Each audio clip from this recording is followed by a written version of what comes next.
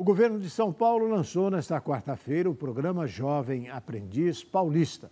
A iniciativa do governador Tarcísio de Freitas é inédita no país, reunindo jovens de 14 a 18 anos que buscam aprendizado profissional e as microempresas junto às micro e pequenas empresas.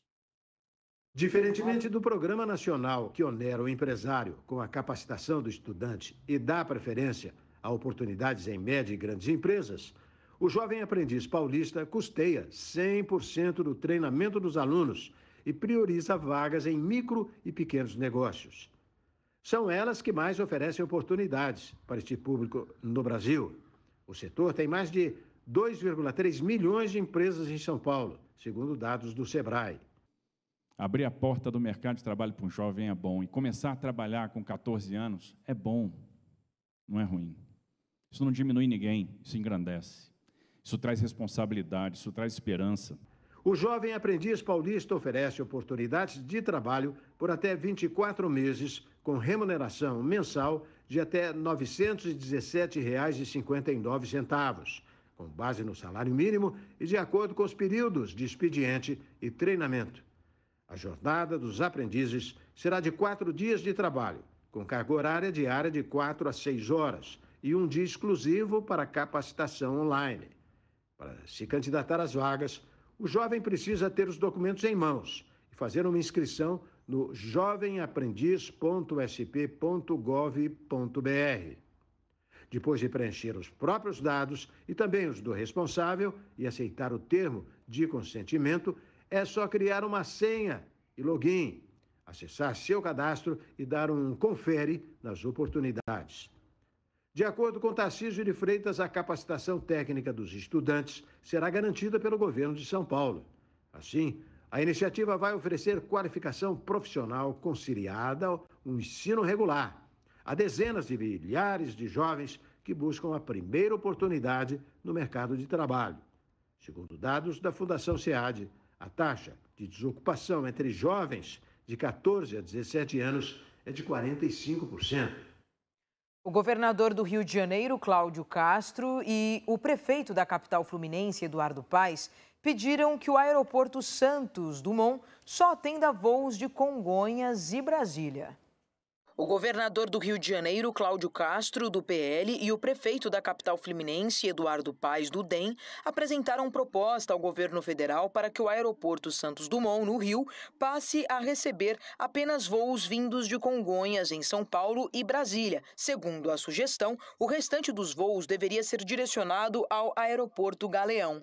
A proposta é uma possibilidade estudada pelo governo para resolver um problema de esvaziamento do Galeão.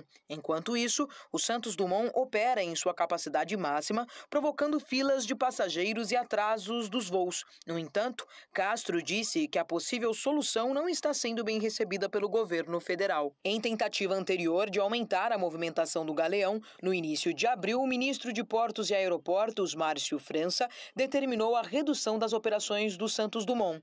A decisão foi de que o aeroporto não ultrapassasse os 10 milhões de passageiros em 2023.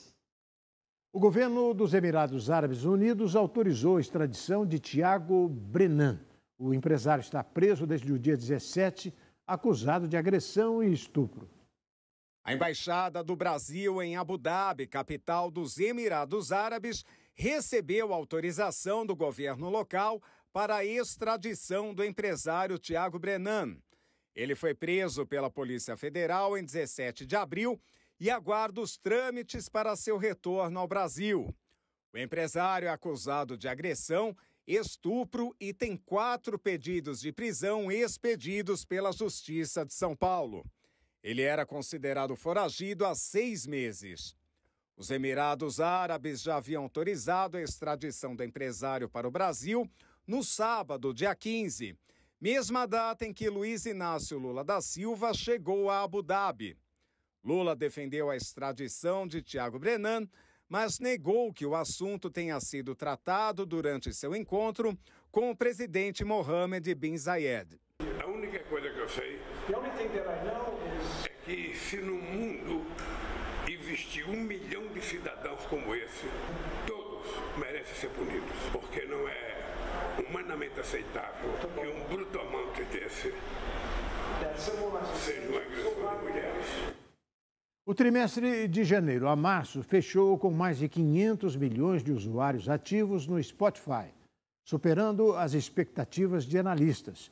Apesar do número impressionante, as perdas operacionais do grupo se intensificaram no período. O Spotify anunciou que registrou 515 milhões de usuários ativos no final deste primeiro trimestre, 22% a mais em comparação ao ano anterior. O aplicativo de música número um do mundo teve um resultado bem acima das expectativas de analistas, que aguardavam 501,5 milhões. A plataforma sueca disse que o resultado se deve graças a recentes campanhas publicitárias. As perdas operacionais do grupo se intensificaram de janeiro a março, registrando um prejuízo de 870 milhões de reais, 25 vezes mais do que no primeiro trimestre de 2022, associado particularmente aos custos de reestruturação e encargos sociais. O faturamento saltou 14% no primeiro trimestre deste ano, para mais de 16,5 bilhões de reais, embora abaixo das expectativas dos analistas, que esperavam quase 19 bilhões de reais. O número de assinantes do serviço aumentou 15%, chegando a 210 milhões. De acordo com o grupo, estes valores foram impulsionados por um bom crescimento em todas as regiões e, em particular, na América Latina. Líder histórico dos streamings legalizados de música, o Spotify sofre perdas regularmente, apesar do crescimento deslumbrante no número de assinantes e uma vantagem sobre concorrentes da Apple e Amazon. E daqui a pouco, múmia de adolescentes que pode ter 1.200 anos é descoberta no Peru. E futebol, a festa dos tricolores paulista e carioca na Copa do Brasil. O RB Notícias volta daqui a pouquinho.